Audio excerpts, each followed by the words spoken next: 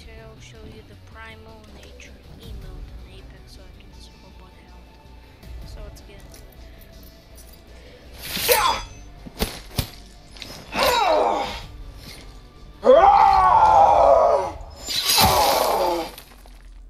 Thank you for watching my video. Bye.